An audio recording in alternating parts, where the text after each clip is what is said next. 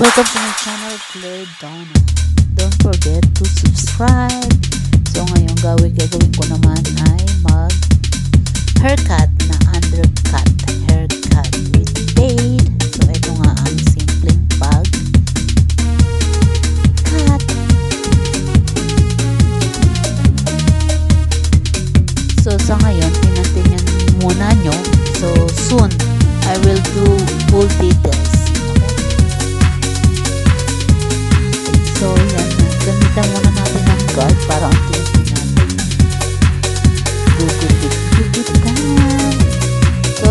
experience yourself.